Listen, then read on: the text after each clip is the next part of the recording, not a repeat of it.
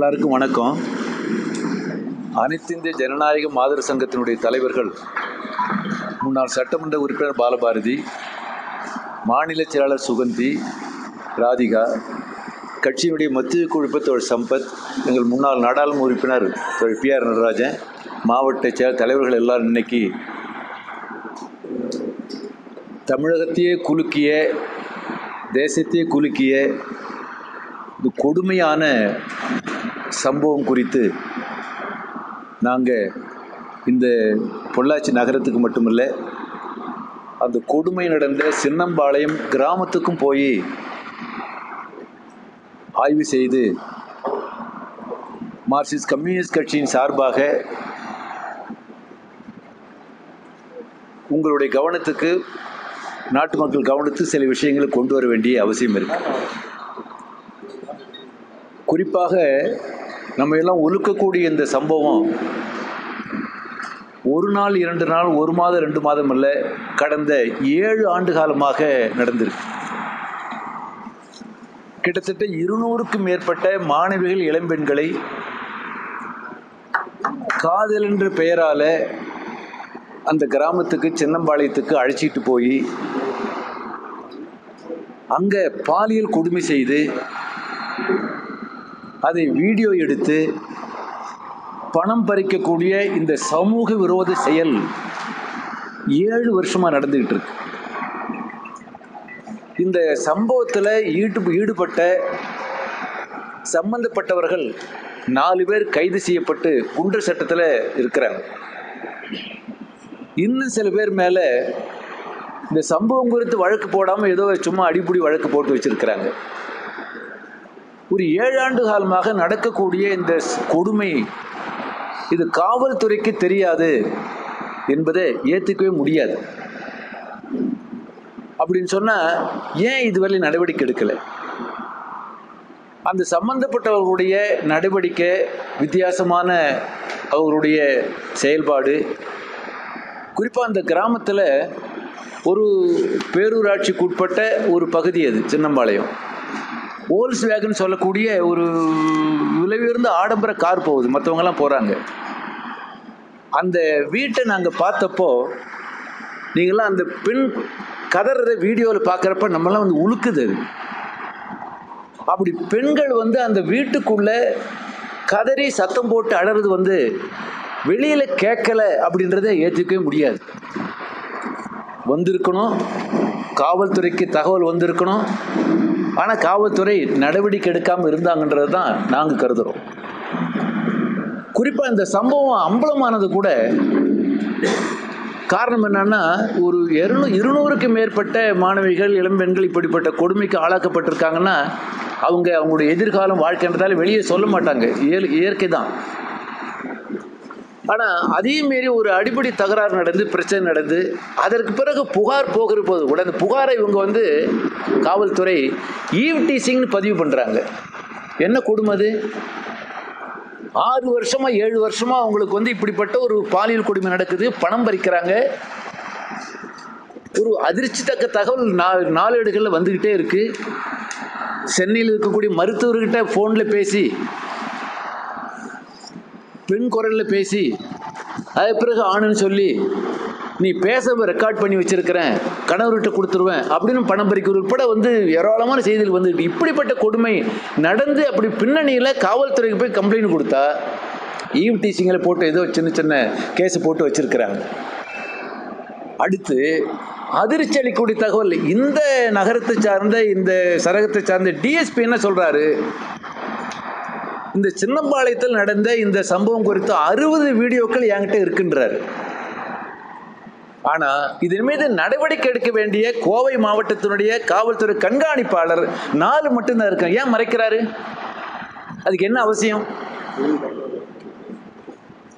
அடுத்து என்ன வருது? ஆளுங்கட்சி சார்ந்த முக்கியமான தலைவர் அவர் குடும்பத்தை சார்ந்தவர்கள் சில பேர் சம்பந்தப்பட்டிருக்காங்க.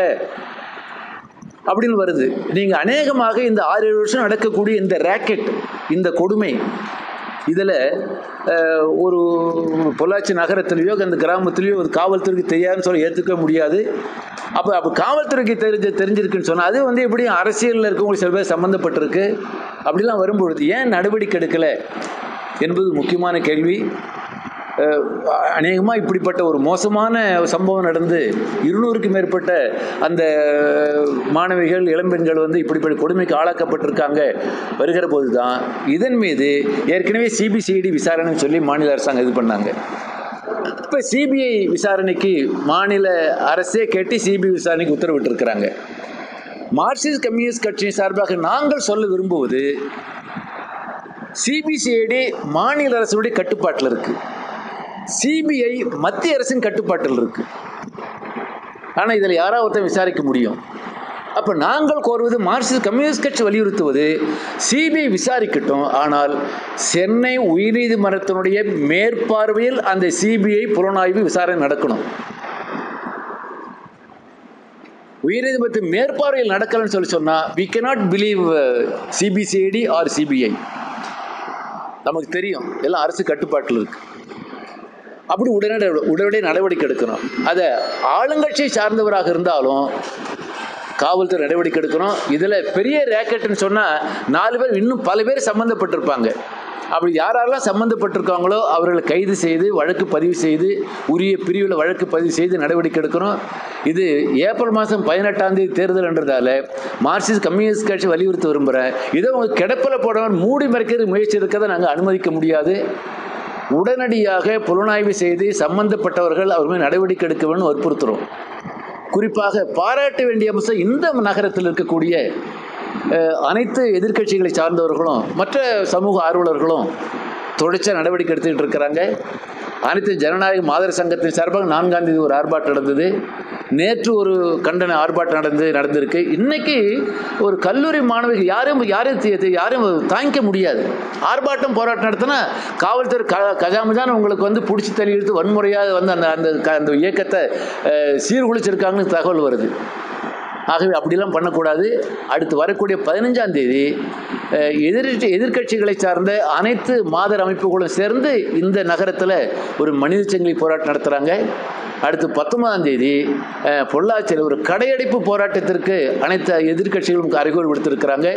அப்போ இந்த பின்னணியில் மார்க்சிஸ்ட் கம்யூனிஸ்ட் கட்சி சார்பாக இந்த நகரத்தில் அந்த மாவட்டத்தில் மட்டும் இல்லை தமிழ்நாடு முழுவதும் எல்லா மாவட்டங்களையும் போராட்டம் நடந்துகிட்டு இருக்கு.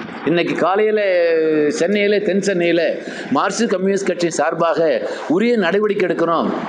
சென்னை உயர்நீதிமன்றத்தில் மேற்பார்வை விசாரணை நடக்கணும் என்று அப்படி மறியல் செஞ்சு அரெஸ்ட் பண்ணியிருக்காங்க போலீஸ் தகவல் வந்திருக்கு. அந்த அடிப்படையில் தேசத்தையும் ஒரு குலுக்கக்கூடிய மோசமான கோர இந்த சம்பவத்தின் மீது நடவடிக்கை எடுத்து உரிமைகள் நடவடிக்கை எடுக்கணும். அந்த குடும்பங்களுக்கெல்லாம் வந்து அவங்க வெளியில் சொல்கிறது சிரமமாக இருக்கலாம். எதிர்காலத்தில் இப்படிப்பட்ட சம்பவம் நடக்காமல் தடுப்பதற்கான ஒரு நடவடிக்கையும் எடுக்கணும். குறிப்பாக இந்த காவல்துறை பொறுத்தவரையில் இன்றைக்கு மாவட்ட காவல்துறை கண்காணிப்பாளர் தான் சில காலத்திற்கு முன்னதாக ஒரு பெண்ணை வந்து அடித்து அது பூரா வந்து சென்சேஷனே வீடியோ ஓடிக்கிட்டு இருந்தது. ஒரு பெண்ணை. ஆகவே தான் அனைத்தையும் ஜனநாயக மாதர் சங்க மாதர் சங்கத்தை வலியுறுத்தி இதில் புலனாய்வு செய்கிற போது இதில் பெண் காவலர்கள் அவர்களை ஈடுபடுத்தி செய்யணும். ஏன்னா ரொம்ப சென்சிட்டிவ் மேட்ரு அது. அந்த அடிப்படையில் உரிய நடவடிக்கை இதுவரையில் அரசு எடுத்த நடவடிக்கையில் எங்களுக்கு திருப்தி இல்லை. உடனடி நடவடிக்கை எடுக்கணும் அது அரசாங்கம் எப்படி அரசாங்கம் வந்து சிபிஐ விசாரணை வேணும்னு அரசாங்கமே பரிந்துரைச்சு சிபிஐ விசாரணைக்கு உத்தரவிட்டிருக்கிறாங்க. இதே மாநில அரசாங்கம் இது வந்து சிபிஐ விசாரணை நடந்தால் மட்டும் போதாது சென்னை உயர்நீதிமன்றத்தினுடைய மேற்பார்வையில் மானிட்டரிங்கில் இந்த விசாரணை நடைபெற வேண்டும் என்று அரசாங்கம் தலையிட்டு சென்னை உயர்நீதிமன்றம் அவர் மானிட்டரிங்கில் வந்து இந்த விசாரணை நடக்கணும் மார்க்சிஸ்ட் கம்யூனிஸ்ட் கட்சி சார்பாக வலியுறுத்தும் சார் இப்போ வந்து ஏழு ஆண்டு காலம் நடைபெற்ற கொலை சார் அந்த பெண்ணோட உறவினர்களோட பெண்ணே வந்து இந்த அரசியலுக்காக இது பண்றாங்க போராட்டங்கள்லாம் அப்படின்னு ஆலயம் வச்சுட்டு அவங்க பெடிஷன் கொடுக்குறாங்க அதை பற்றி உங்களுக்கு அனுமதி சார் அதாவது உங்களுக்கு நான் நினைவுபடுத்த விரும்புகிறேன் பாச்சாத்தின்ற கிராமத்தில் அப்பாவி மலைவாசி மக்கள் பெண்கள் மானபங்கப்படுத்தப்பட்டு பாலியல் கொடுமைக்கு ஆளாக்கப்பட்டது. இருபது ஆண்டுகள் போராடி சம்பந்தப்பட்ட காவலர்களுக்கு வனத்துறை அதிகாரிகளுக்கு தண்டனை வாங்கி கொடுத்த இயக்கம் எங்கள் இயக்கம் அவல அபலப்பெண் பத்மினி அவருடைய கணவர் நந்தகோபால் சிதம்பரத்தில் லாக்கப்பில் நந்தகோபால் அடித்து கொண்டுட்டாங்க பத்மினி வந்து அநீதி அளிக்கப்பட்டது. அதுக்கு போராடி சம்மந்தப்பட்ட காவலர்களுக்கு தண்டனை வாங்கி கொடுத்த கட்சி எங்கள் கட்சி. அரசியலுக்காக அல்ல. அடுத்து இந்த ஒரு ஏழு ஆண்டுகள் நடந்த இந்த சம்பவத்தில் பின்னணி இப்போ அதிர்ச்சி தரக்கூடிய தகவல் என்னன்னு சொன்னால் சமீப காலத்தில் இந்த பொள்ளாச்சி நகரத்தில் அல்லது சுற்று வட்டாரத்தில் சம்பந்தப்பட்டு பாதிக்கப்பட்ட பெண்கள் தற்கொலை செய்து கொண்டதாக தகவல் வருது. நமக்கு எத்தனை பேர் என்னன்னு தெரியாது. ஏன்னா மன உளைச்சிக்கு ஆளானவங்க இனி நம்ம வந்து எப்படி வாழறது? ஆகவே இந்த புலனாய்வு நடைபெறுகிற போது பொதுவாக இது இதனுடைய எல்லா ஆங்கிள்லையும் புலனாய்வு செய்யணும். அப்படி தற்கொலை நடந்து கொண்டிருந்தால் அப்படி வேற சம்பவம் நடந்திருந்தா அதுக்கும் இதுக்கு என்ன சம்பந்தம் இருக்குன்றது உட்பட வந்து புலனாய்வு செய்து உரிய நடவடிக்கை எடுக்கணும். மார்க்சிஸ்ட் கம்யூனிஸ்ட் கட்சி பொறுத்தவரையில் பெண்களுக்கு இழைக்கப்படக்கூடிய அநீதி மனித உரிமை பாதுகாப்பு இப்படிப்பட்ட பிரச்சனையில் தொடர்ந்து போராடக்கூடிய உங்களுக்கு தெரியும் அந்த வீரப்பன் இதில் சின்னாம்பதியில் உங்களுக்கு வந்து அதுக்கு தேடுதலாக போனவங்க அந்த ஜனங்களை கொடுமைப்படுத்துகிறப்ப அதை பற்றி ஒரு மிகப்பெரிய இயக்கத்தை நடத்தணும். இட்ஸ் நாட் ஃபார் பாலிட்டிக்ஸ் மக்களுடைய நலனை உரிமைகளை பாதுகாப்பதற்கு மார்க்சிஸ்ட் கம்யூனிஸ்ட் எப்போ நடவடிக்கை எடுக்கும் அந்த அடிப்படையில் தான் நாங்கள் வந்து இன்றைக்கி போகிற மற்ற தலைவர்கள்லாம் சந்தித்து நாங்கள் இந்த உங்கள்கிட்ட கருத்து சொல்கிறோம் சார் இப்போ புகார் கொடுக்குற பெண்ணோட அந்த பேரை போட்டே தான் அறிக்கை வெளியிடுறாங்க இது வந்து மிரட்டல்னு சொல்லாம எப்படி இல்லை சரியான கேள்வி. நீங்கள் வந்து இந்த நிர்பயா அந்த வழக்கில் இருந்து இப்படிப்பட்ட ஒரு பாலியல் கொடுமைக்கு பெண் ஆளாக்கப்பட்டால் அந்த உரிய பெயரை வழக்கிலேயோ வெளியிலேயோ ஊடகத்திலேயோ சொல்லக்கூடாதுன்றது நீதிமன்றத்தினுடைய தீர்ப்பு. அப்படி புகார் கொடுத்தவங்க பேரையே அப்படி சொல்கிறதுன்னு சொன்னால் அது வந்து ஒரு ஏற்றுக்க முடியாது. ஆக இனி வேற யாரும் புகார் கொடுக்க வராமல் தடுக்கிறதுக்கான ஒரு ஏற்பாடு அது. மிரட்டல். ஒரு புகார் கொடுத்தவங்க பேரை சொன்னீங்க சொன்னால் அடுத்து பயப்படுவாங்கல்ல. ஆகவே அப்படி காவல்துறை வந்து இதுவரையில் நடந்த இந்த சம்பவம் குறித்து எங்களுடைய ஆழமான கருத்து நடந்த இந்த கொடுமையை சமூக கொடுமையை மூடி மறைப்பதற்கு காவல்துறை முயற்சி எடுப்பதாக நாங்கள் கருதுகிறோம் அது வெளியே கொண்டு வரணும்னா சிபிஐ விசாரணை சென்னை ஹைகோ சென்னை மெட்ராஸ் ஹைகோர்ட்டினுடைய அந்த மானிட்டை விசாரணை நடந்தால் தான் உண்மை வெளிவரும் சம்மந்தப்பட்ட நடவடிக்கை எடுக்கும் நடவடிக்கை எடுக்கும் சென்னை சுவாதி கொலை வழக்கில் வந்து ஜெயிலே வந்து ஸோ அதே மாதிரி இந்த வழக்கில் வந்து அவர் அந்த மாதிரியான பாதுகாப்பு அதாவது உங்கள் கவனத்துக்கு கொண்டு வர விரும்புகிறது அருப்புக்கோட்டை கல்லூரி பேராசிரியர் நிர்மலா தேவி அந்த பிரச்சனையில் விசாரணை நடந்துகிட்டு இருக்கு.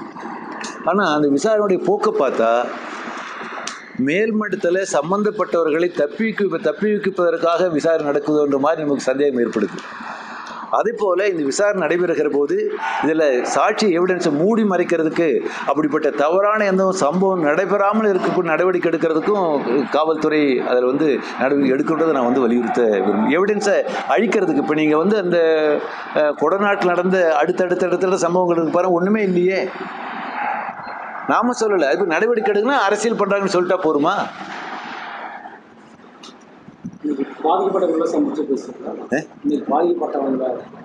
இல்லை அப்படி யாரையும் சந்திக்கல. பொதுவாக இது சம்பந்தமாக பொள்ளாச்சி நகரத்தில் இந்த இந்த சம்பவத்தை கூர்ந்து கவனிக்கக்கூடிய ஃபாலோ பண்ணக்கூடிய அப்படிப்பட்டவர்களை சந்தித்து பேசி விவரத்தை சேகரித்தோம் அப்புறம் அந்த சின்னம்பாளையம் கிராமத்துக்கு போனோம். அந்த இடத்த பார்த்தோம்.